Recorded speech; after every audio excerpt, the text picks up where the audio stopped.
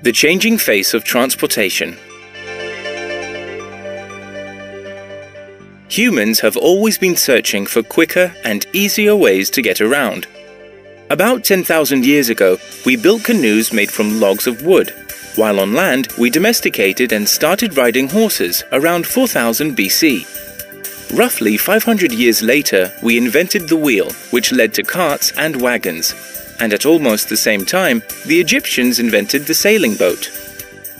Up until the 18th century, most people traveled by sailing boat, horse, or stagecoach.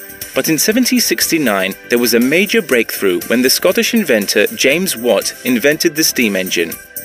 In 1783, the French inventor Claude de Jouffroy used this technology to build the first steamboat, and in 1804, the Englishman Richard Trevithick constructed the first steam-powered train. Railways helped carry coal around Britain and were an important part of the Industrial Revolution. Another major breakthrough came when Carl Benz built the first working car in 1885. Then, in 1903, Orville and Wilbur Wright built the first aeroplane. These two inventions shaped the 20th century.